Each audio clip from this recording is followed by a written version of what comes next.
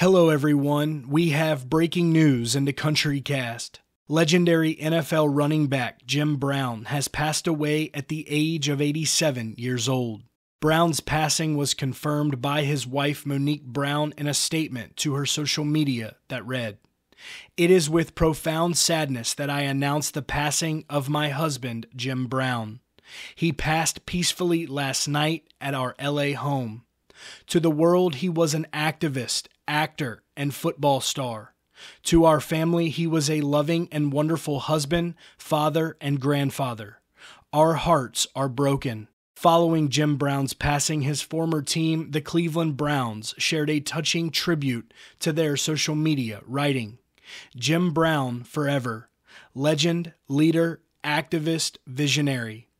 It's impossible to describe the profound love and gratitude we feel for having the opportunity to be a small piece of Jim's incredible life and legacy.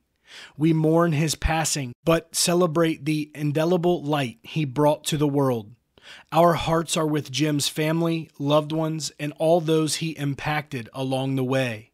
Jim Brown was one of the greatest football players to ever grace the field winning a total of three MVPs during his career, including his rookie season in 1957. And out of his nine NFL seasons, Jim Brown was also named All Pro each year, and eight out of the nine, he was a first teamer.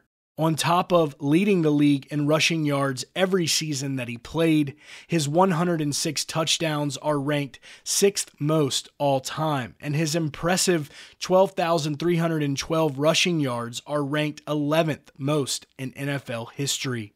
Jim Brown laid the foundation for many backs that we have seen throughout the game of yesterdays and today.